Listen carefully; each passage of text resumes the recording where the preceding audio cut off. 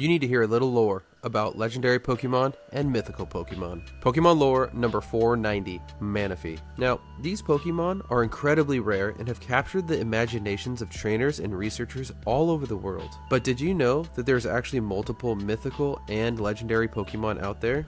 It's true. While we may be familiar with just a few, researchers have discovered more than one of these rare creatures. Being a legendary or mythical Pokemon does not necessarily mean it's the only one of its kind, just that it's insanely rare.